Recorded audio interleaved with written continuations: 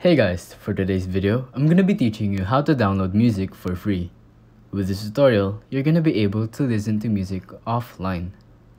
So, let's start by opening eSound. Basically, eSound is a free offline music player.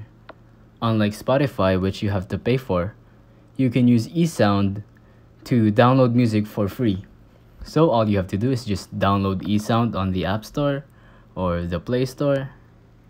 And then once you open it, you can register for free and sign up with whatever you want to. And just like Spotify, when making a new account, you can choose three or more artists to fix your recommendation. So I'm just gonna pick random ones.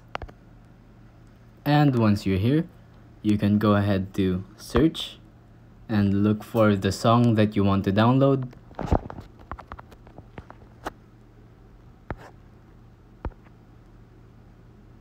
So now that you're here, as you can see there's two dots at the bottom left corner. Go ahead and tap on that and then tap on download offline. As you can see it's loading and once it's done loading you're gonna see a green heart like right now so once you see that green heart, it means that you're done downloading. So just to access this, you're gonna want to go to library and then saved songs. And here you go. It's right here. You can play it when you don't have internet because you already downloaded it. It's simple as that. If you think this video was helpful, please consider liking, subscribing, and hitting the notification bell.